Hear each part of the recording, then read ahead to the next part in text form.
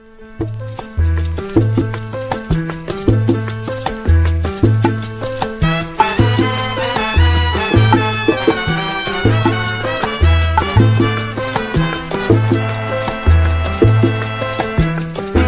a contar una historia que no tiene comparación, la historia de un muñequito que se vacina a su aguanto, la gente cuando sagrada.